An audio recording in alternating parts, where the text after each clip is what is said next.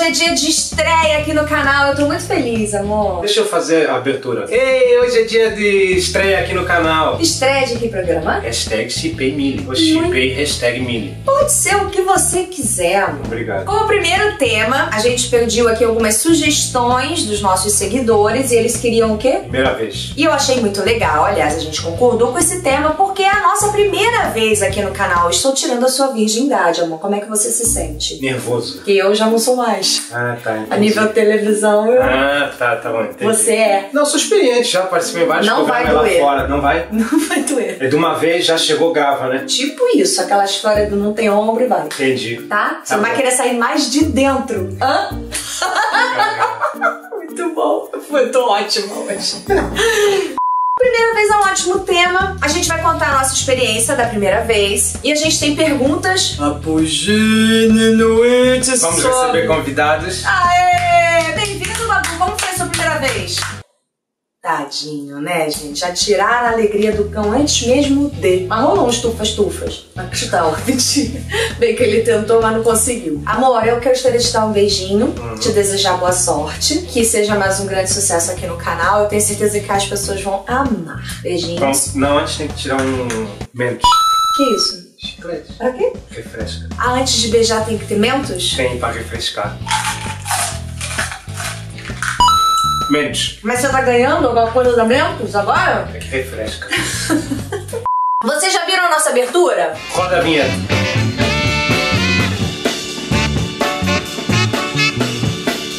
Agora é a hora do beijo.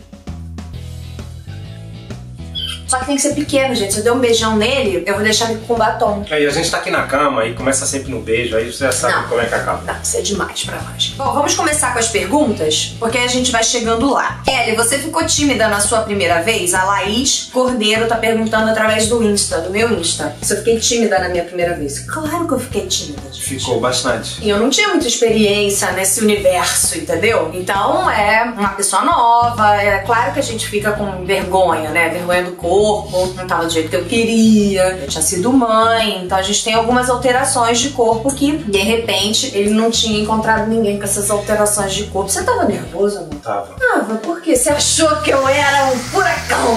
Você é um furacão. A nossa foi, foi rápido, foi em uma semana a aproximação. Aconteceu tudo em uma semana. Conheci, ela começou me dando mole. Já falando sobre isso na chamada, pronto. que é surreal, é falta de noção, é ridículo da tua parte falar um negócio Tá desse. bom. Acabou. Ela não me deu mole, até que a gente viu que ia rolar alguma coisa. As pessoas foram falando e resumindo bastante. Aí uma vez eu cheguei ao pé dela, falei que eu ia ser o padrasto da Su. Ao pé dela quer dizer que ele chegou perto de mim. É, e aliás, vai ter várias histórias que vocês vamos, vão ver que. já vamos aproveitar antes de continuar a pergunta, porque assim, já teve pergunta que perguntando se a primeira vez foi no Brasil ou se foi em Angola. Foi em Angola. Eu sou patriota, né? Eu começo em casa. Vamos continuando a nossa história. vamos. Eu fui pra Angola fazer show, pra vocês que ainda não sabem. E o Mico era o contratante. Na verdade, o investidor do evento, não era bem o contratante. Quando eu cheguei lá e tal, gente se viu, se conheceu, mas não rolou aquela coisa de oh, de primeira. Não foi uma coisa assim avassaladora. Não, eu te achei bonitinha, do tipo, é, pego. Continuamos. Eu não vou falar nada, até poderia ter a minha sogra aqui dando o seu depoimento, dizendo como é que foi antes de eu chegar em Angola, porque ela disse que você viu meu videoclipe e falou assim: vou namorar esta cantora. Mico está prevendo as coisas, é tipo mãe de Nath. Até hoje não, não fez uma previsão assim, tipo, por Vou exemplo, fazer agora. Mega Sena. Eu vou fazer agora. Euro milhões. A Mega Sena da virada tá boa. Mega Sena da virada tá boa, tá? Tá bom. Vamos fazer uma previsão aí da Mega Sena da virada? Deixa suando, acho que eu tô nervoso. Não fica não, tá, amor? Tá. Deixa que eu te ajudo. Aí eu falei que ela- eu ia ser padrasto da Suzana. Mas Ela- não pra mim. Eu falei pra um, pra um amigo. pessoa que nosso, tava junto, É, né? como que falou pra ela, ela gostou, lógico. Aí quando eu vi que a coisa ia acontecer, a gente tava numa boate. Aí eu chamei ela, ela ficou, tava do meu lado e eu falei que. Não me olhes assim, senão eu vou te beijar. Não me olhes assim, senão vou te beijar, que é o que tá escrito aqui. E eu tatuei aqui também. Aí ela olhou pra mim e falou. Então beija, né, gente? A pessoa fala isso, eu vou falar o quê? Falei, então beija. A gente foi lá e lá, lá, lá, lá, lá, Aí foi o primeiro beijo que responde aqui várias pessoas que perguntaram Tá, como é que é. foi o primeiro beijo. O primeiro beijo foi na boate. E foi ótimo, eu acho que a gente. A gente Aquele beijo com rolou química, química. encaixou, encaixou. Foi, foi bonitinho, Ela foi queria direitinho. tirar minha camisa na. É mentira, Não, gente, não queria, não que queria. exagero. Eu só sei que é o seguinte. Aí não foi, não foi no, no dia do primeiro beijo que rolou a primeira vez. Não, foi, não, não. Aí foi, deixei ela no hotel, pronto. Passou uns dois dias, a gente tava juntos de novo e foi pro hotel. E, e ficou muito tarde. Aí tu sabe, quando tá tarde, pegar o carro e ir pra casa é perigoso. Aí ela falou pra eu dormir no hotel, mas que eu prometesse que não ia fazer nada. Tem que, tem que, tem que coroar aqui ó, o anjinho, ó. Entendeu? Eu sou a menina boa de família, a menina de respeito, a menina que não é fácil, uma menina que não se vende por qualquer coisa, uma menina que. Pronto, já chega, já chega. Dormimos juntos, imagina, né? Dormindo com esse violão.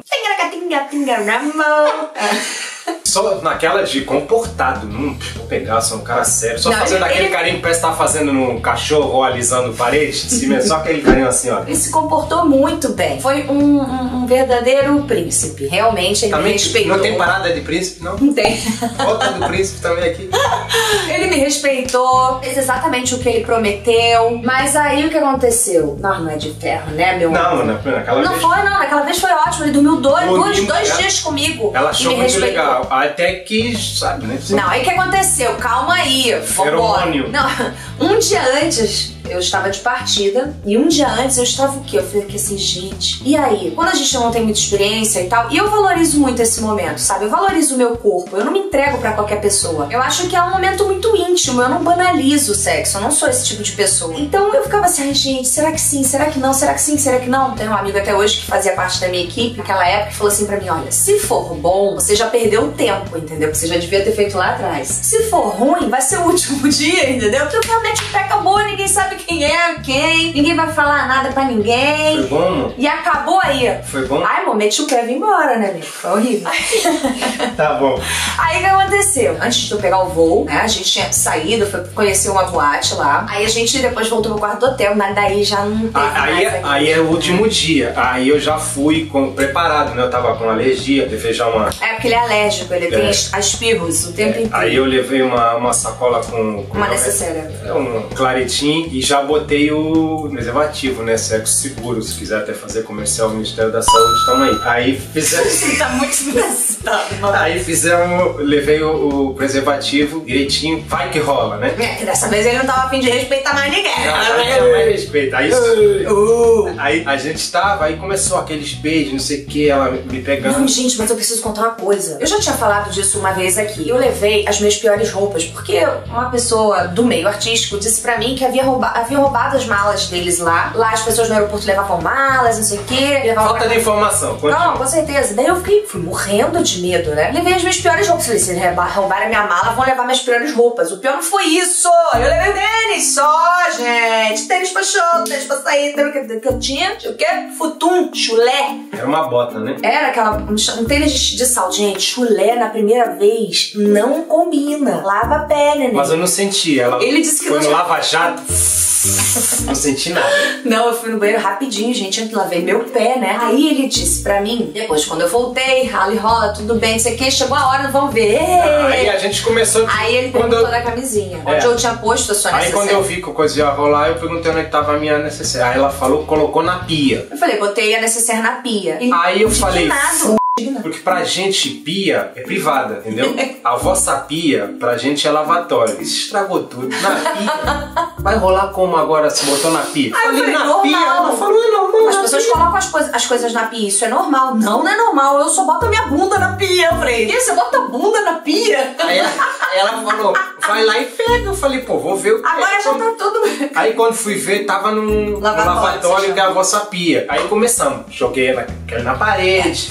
Eu assim, ó, mentira. Já- Aí foi, foi, foi, foi. Olha só, Maravilhoso, não né? teve muita preliminar, foi uma coisa muito mais carnal ali, de tipo, Já- final dois dias do juntos e não fazendo nada, né? Você queria o quê? Vamos embora, gente! E você lembra quando, quando eu tirei a calça como eu tava? Meu Deus, ele não foi preparado pra isso não, gente. Ele tava com um short de hipopótamo. Eu não estou brincando. Ele não estava de cueca, era tipo boxer, vermelha com os hipopótamozinhos assim cinza. Me digam se isso não é um homem confiante. Aí na hora do bem bom, né, do pra finalizar, a parte mais engraçada, né? Porque quando já, já vi que a minha parceira estava sexualmente...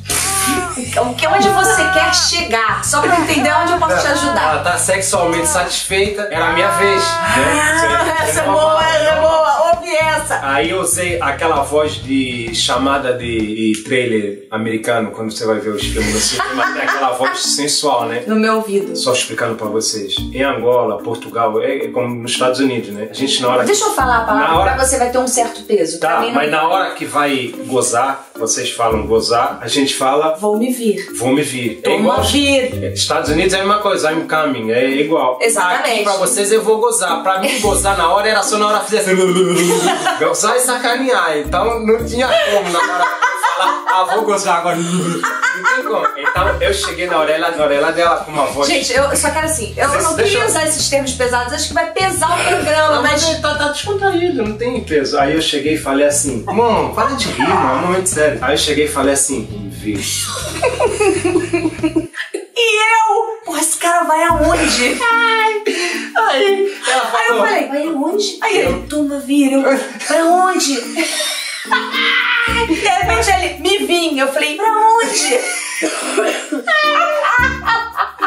Gente, eu ganhei muito. Eu sei que ele se veio, eu me vim, nós brincamos, fomos pra lá, fomos pra cá.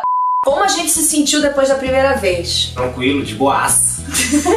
eu acho que ficou Cara, eu fiquei meio né? triste. Eu fiquei meio triste, Porque sabe eu ia por quê? embora. Porque eu ia embora logo em seguida. E eu achava que era um relacionamento que não tinha como dar certo. Afinal de contas, a gente vivia em países diferentes, né? Apesar de ter a- o avião aí pra fazer essa ligação, a gente levar um relacionamento adiante ia exigir o quê? Que a gente mudasse de país. E, enfim, não era o nosso objetivo, né? Na verdade, não era o meu objetivo. E aí, o que aconteceu? Eu pensei que eu nunca mais ia vê-lo. Eu peguei... A gente já contou até aqui no canal, no Colo de Mãe, tem um episódio falando sobre isso e o link vai estar na descrição do vídeo. Eu tava gravidinha do Arthur. Você tinha me dado um telefone e eu achei que você tinha me enganado. Porque entro eu no avião, vou me embora cheirando litros e tal. E aquele voo fazia uma escala na África do Sul. Eu parei na África do Sul, peguei o telefone e fui ligar pro amigo pra dizer que eu tinha, já estava na África do Sul, afinal de contas, ele pediu pra eu fazer isso. E eu ligo e ele de lá atende. Tô. Eu mais uma vez, burra, meu Deus do céu, de estar onde? Porque pra gente, em vez de falar alô, a gente fala tô. E ele, eu, tá onde? Ele, sim, tô. Eu falei, eu sei que você tá, gente, você tá onde? Aí desliguei o telefone, falei pro Anderson, que era meu produtor, né, que falou pra mim, eu falei, Anderson, ele disse, tem alguém dizendo que tá em algum lugar, mas não é ele, ele mentiu pra mim, ele me enganou. Aí fiz o drama, né, de uma novela mexicana. Normal, voltei a ligar, ele voltou a dizer que tava em algum lugar, a gente ficou nessa, mas na terceira vez ele falou meu nome, eu falei, opa, é o Mico. Eu perguntei, mas você tá onde? Aí ele explicou por que que fala e tal. Enfim, a gente Resumindo a história, tô Continua. aqui do teu lado. a gente cheio continuou. de filho. Cheio de filho. Cheio de filho, cheio de bicho, gente. Criando, de fato, uma família muito bonita. Então é isso, amor. Eu fiquei tão feliz de fazer um programa com você. Espero que vocês tenham gostado também. Participem junto com a gente, tá? Pois é, mandem mais temas, mandem perguntas, mandem a experiência de vocês. A gente quer conversar aqui, quer comentar sobre as experiências de vocês. Chama o marido, o namorado, que eu vou precisar de apoio masculino nos, nos debates. Isso vai ser primordial. Com certeza, participem mais do nosso programa. Se inscrevam no canal, deem um like pro vídeo pra gente, compartilhem esse vídeo com a galera, enfim, espero que vocês tenham gostado. Beijo, até semana que vem, porque agora a gente se vê toda quarta-feira à noite. Tá, a gente não vai falar só de sexo, mas quer dizer, Vai quer falar de tudo. que, que o papo é reto. Sim, não tem. Não tem mimimi. Exatamente, é sem mimimi. Beijo.